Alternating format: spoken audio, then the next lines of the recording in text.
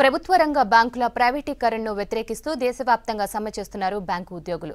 United Forum of Bank universe unions పిలుపు మేరకు ఇవాళ రేపు సమ్మెలో పాల్గొనున్నారు బ్యాంకు ఉద్యోగులు. దీంతో ఇవాళ రేపు బ్యాంకు సేవలకు అంతరాయం కలగనుంది. దాదాపు పది లక్షల మందికి పైగా బ్యాంకు ఉద్యోగులు సమ్మెలో పాల్గొంటున్నారు. కేంద్ర ప్రభుత్వానికి వ్యతిరేకంగా ప్లకార్డులు ప్రదర్శించారు. బ్యాంకు సంస్కరణలు తిరోగమనంలో పయనిస్తున్నాయని ఆగ్రహం వ్యక్తం చేశారు.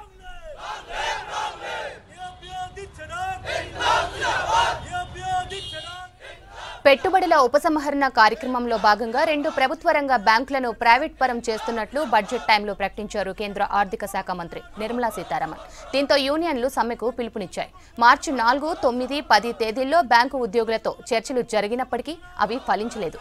United Forum of Bank Unions All India Bank Employees Association All India Bank Officers Confederation National Confederation of Bank Employees All India Bank Officers Association Bank Employees Confederation of ఇండియాలు సమ్మెలో పాల్గొంటున్నాయి.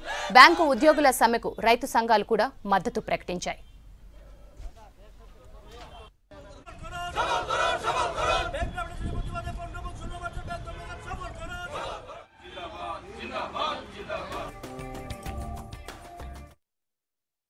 ये पंद्रह और सोलह को हम लोगों का स्ट्राइक है। ये स्ट्राइक है प्राइवेटाइजेशन के अगेंस्ट में। अभी जो सेंट्रल गवर्नमेंट ने बोला है कि तीन पब्लिक सेक्टर बैंक्स को प्राइवेट कर देगा एलआईसी को प्राइवेट करेगा, ये सबके अगेंस्ट में दो दिन का हड़ताल है हम लोगों